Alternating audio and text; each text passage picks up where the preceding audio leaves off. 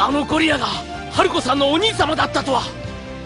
ということは春子さんに好かれるにはバスケ部に入部してゴリに気に入られるのが一番。お兄様バスケ部の未来はこの天才桜木花道にお任せください。ルカごときとは次元が違うぜ次元が。スラムダンクバスケットマン花道入部。見てくれよな。